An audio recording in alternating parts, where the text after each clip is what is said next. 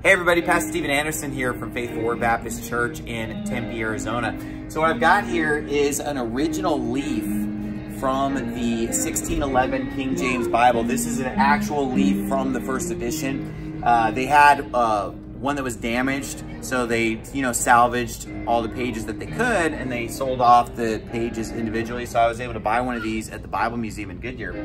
But the reason I chose this particular leaf from Matthew 24 was because I thought it was cool the note that it has right here where he says, if you want to zoom in here, where it says, immediately after the tribulation of those days shall the sun be darkened and the moon shall not give her light and the stars shall fall from heaven and the powers of the heavens shall be shaken and then shall appear the sign of the Son of Man in heaven and then shall all the tribes of the earth mourn and they shall see the Son of Man coming in the clouds of heaven with power and great glory and he shall send his angels with a great sound of a trumpet, and they shall gather together his elect from the four winds from one end of heaven to the other.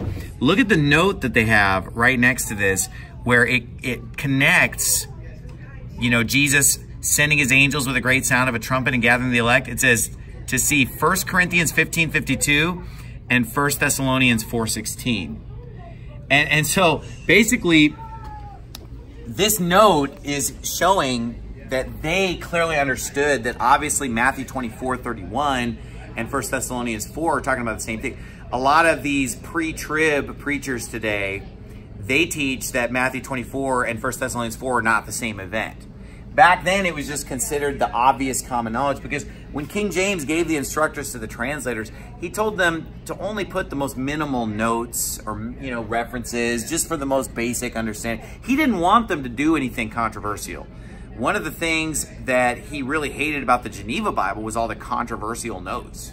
So he wanted this to be a Bible that everybody could use. So when they sold the King James Version first printing, they wanted it to go to, you know, people no matter what they believe. So this is just kind of the most obvious basic note here that obviously First Thessalonians 4 and Matthew uh, 24 are the same event. So yeah, this has the little affidavit of originality that this is an original leaf.